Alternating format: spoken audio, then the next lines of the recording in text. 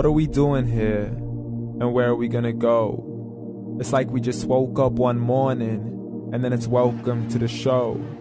Don't ask any questions, just go with the flow. Make as much money as you can and try your best not to get broke. Copy everything you see on the TV, from the hairstyles to the clothes, and don't think too often. Just do exactly as you're told. And if you ever get confused, then just turn towards the alcohol. You'll still hear thoughts. Then just turn up the radio as you learn to live a lifestyle of drugs, sex, and rock and roll.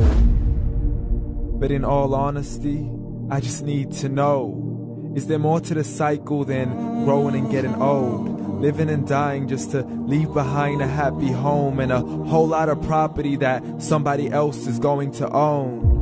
I just really need to know before the casket's closed. Cause I'm not willing to gamble with my soul, nor am I ready to take any chances. These are just simple life questions, and I'm just searching for some answers. Like, what are we doing here? And what is our purpose?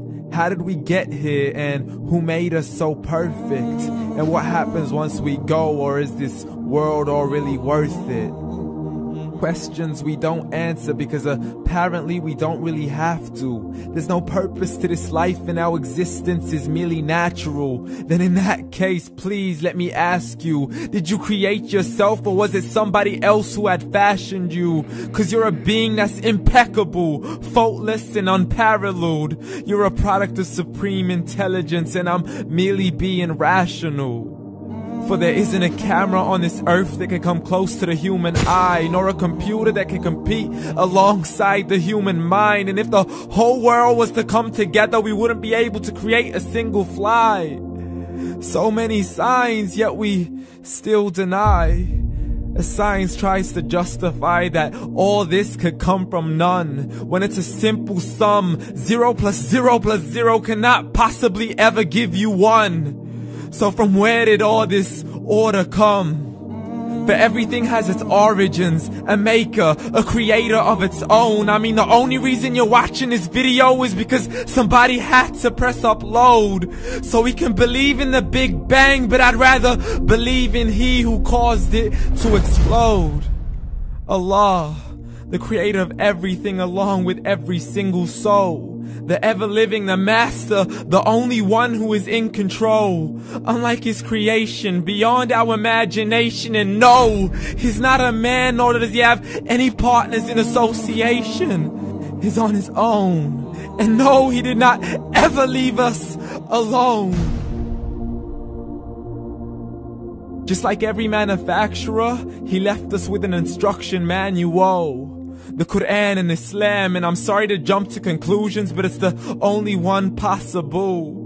The only definition of God is the one and only supreme being. It's logical. A book with zero contradictions, with miracles that are both scientific and historical. All revealed over 1400 years ago like the detailed description of the human embryo. The descriptions of the human embryo in the Quran cannot be based on scientific knowledge in the 7th century. To the mountains as pegs holding firm the earth below, and the two seas that don't mix in a complete separate flow. To the planets in orbit, alternating night and day as they stay in flow. The expansion of the universe and the creation of everything from H2O to the stories of the past and the preservation of Pharaoh, to identifying the lowest point in the land where Persia defeated Rome, the gushing fluid that created man in the glands between the ribs and the backbone, and not a word has changed, it's still the same, so please explain how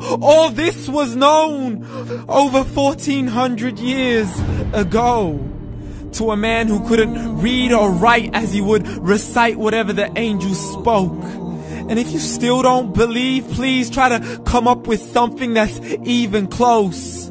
But you can't, so we took God as a mockery and his messengers as a joke. Muhammad could not read or write. Somebody who can't read or write gonna start a religion? Dismiss these scriptures as legends and tales of the ancient folk as we live life according to our whims, desires, and hopes. saying this life is the only home we will ever know. We will live then die then simply turn to bones. Yo, low. Correction, after the grass dies, the rain arrives and it regrows. And Allah promises to do the same thing to your very soul and bring you back from your very fingertips to your toes. As the all-seeing supreme being watches us so close and we are surely being tested in our wealth, our health, and our self, and everything that we've been blessed with. So believe, for we will surely be resurrected and be brought back to our Lord and account for every single deed as He hands us our books and orders us to read from the bad to the good and everything in between. You yourself are sufficient for your own accountability, so don't be mad at me. You are the one who thought he wouldn't come back to me. I gave you a whole life long to search after me. But you were busy in all that which was temporary, so read. And glad tidings to all those who believed. And if you disbelieve, read. And don't let that day be the first day you find out what your life really means. Read.